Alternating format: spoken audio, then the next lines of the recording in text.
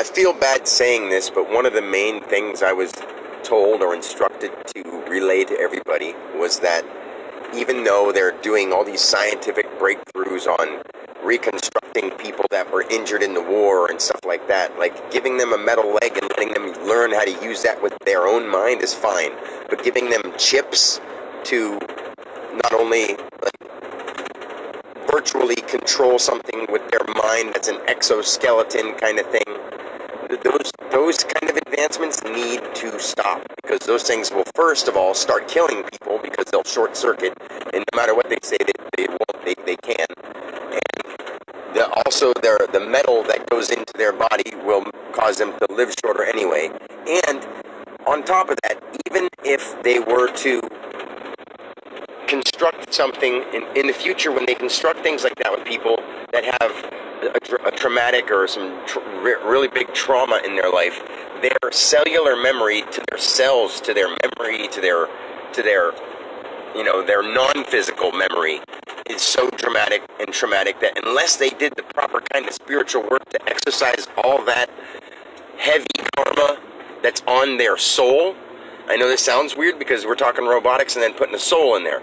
Well, this is where they start drawing the line between person with a soul and putting a robot in there. Like, if somebody starts getting advancements by giving him metal bodies and the ability to, you know, construct an exoskeleton that can defend somebody, they still have resentment and bottled up anger that isn't going to be all worked out in this lifetime.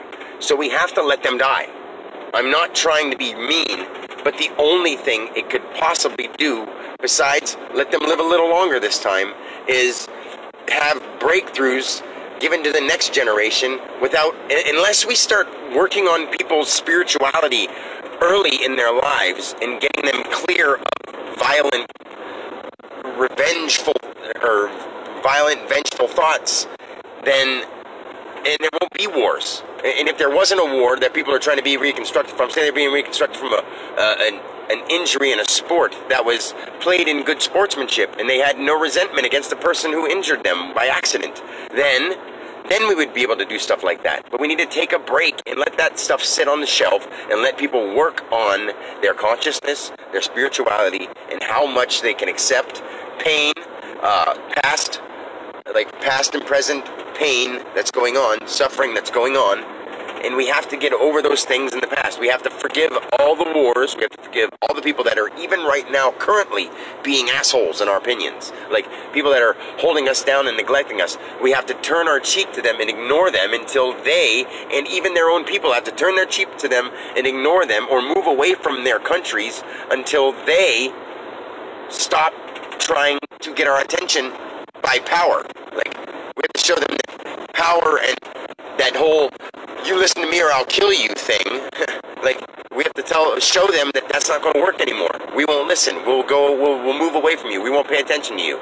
Like and not overpower them with force and physicality and violence because that's just relaying the same message over and over and over. And we're just doing the same thing. Even if we say we're doing it out of, you know, justice, we're not because another person was just misled by their body or by their life up to this point. You know, it's such a reoccurring thing that happens over and over. This has happened billions of times over and over, and we can break it this time. I mean, that's what my life is dedicated to.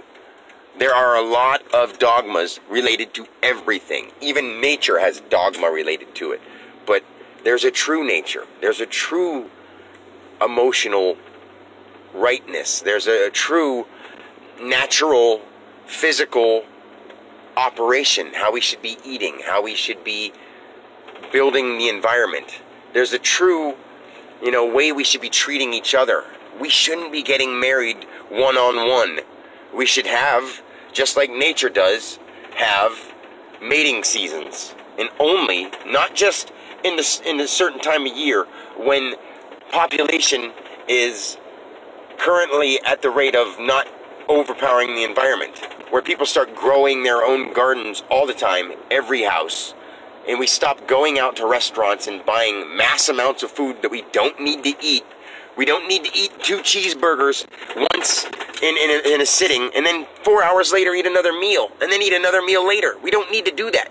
We could eat one sandwich and be okay for a, a week. You, you, guys don't understand. Like, we don't need to eat anywhere near what we're eating. We don't need to consume anywhere near what we're consuming. We don't need to travel the way we're traveling as much as we do and polluting the world the way we do. And you know what's weird is we're not really polluting the world except we have the idea that we are.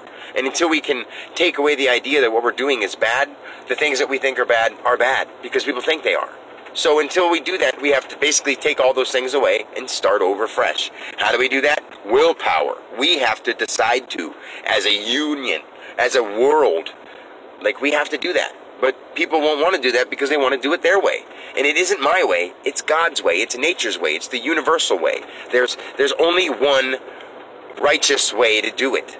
There's a billion ways that you could do it and, and then eventually over a long term it'll it'll you know destroy itself. But there's one righteous way to do it where it keeps building itself and keeps prospering and going further and further and better and better without any negative side effects. There will be negative possibilities because there always has to be a positive and a negative.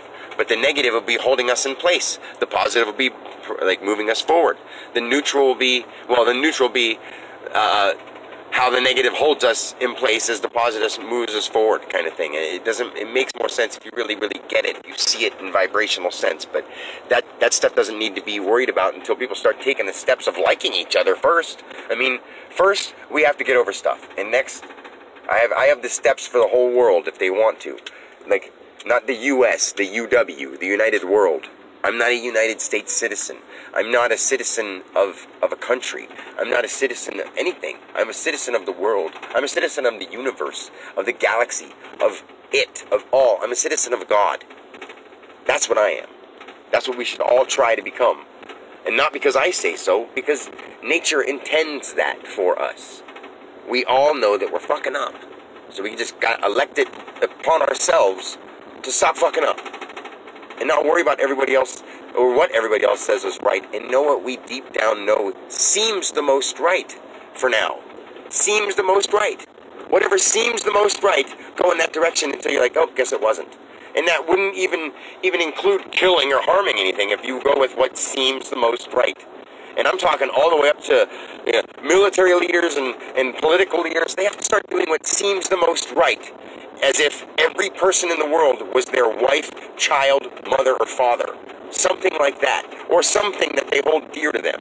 If they don't have any of those things that they hold dear. Something. Their self.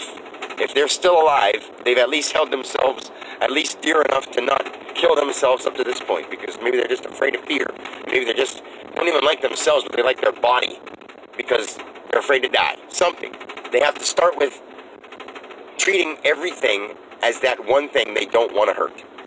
And then we, we go from there. And I can help us when we need to. Woo!